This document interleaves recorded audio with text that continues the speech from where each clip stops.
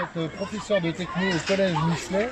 Expliquez-nous ce qui se passe. Donc c'est l'aboutissement aujourd'hui, on a, on a lancé un balançon, c'est l'aboutissement euh, d'un an de travail avec les élèves. Donc euh, ils ont réalisé la nacelle, ils l'ont fabriqué, ils ont mis des petites expériences à l'intérieur, des petites expériences embarquées. Le but c'est que ça monte à 30 km d'altitude, donc c'est quand même assez haut. Et on a hâte euh, d'avoir euh, l'atterrissage à 4 heures pour savoir où atterrit notre ballon, que s'est-il passé à l'intérieur. Voilà. Et alors, qu'est-ce qui se passe à l'intérieur Il y a quoi à l'intérieur Alors, à l'intérieur, exactement. des chiens, des chimpanzés, des gens, On a mis des élèves. Non. des élèves Ah, Les plus pénibles, Non, non, non, non. Surtout, c'est interdit, donc pas d'élèves. Mais on a mis une petite boîte de bonbons et les élèves, eh ben, ils vont goûter la boîte de bonbons après ce voyage à 30 km d'altitude. Voilà. Bonjour Amel et bonjour Marie. Bonjour. Vous êtes toutes les deux euh, collégiennes euh, à Michelet en troisième. en troisième. Donc vous avez participé là euh, à l'envol. Ça va servir à quoi ce, ce ballon là, d'envoyer des bonbons dans l'espace?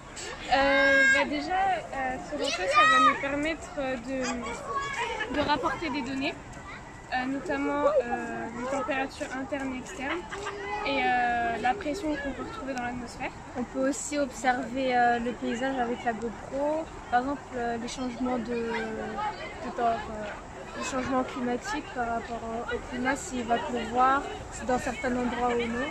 Et avec euh, la géolocalisation, avec la géolocalisation, on va pouvoir euh, les différentes températures euh, Et vous avez mis combien de temps pour faire ce projet environ euh, deux ans. Toute l'année de quatri- quatrième et cette partie de troisième.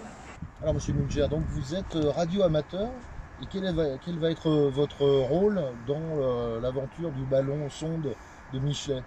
Eh bien, notre rôle, c'est d'écouter les signaux que le ballon nous envoie via le, le petit module qui est à l'intérieur qui s'appelle un kikiwi. Et donc, euh, ces signaux, nous les captons, nous les décodons. Et il y a également un GPS qui se trouve sur le kikiwi. Et donc, grâce à ce GPS, on a les coordonnées en permanence de- du lieu où se trouve le ballon et de son altitude.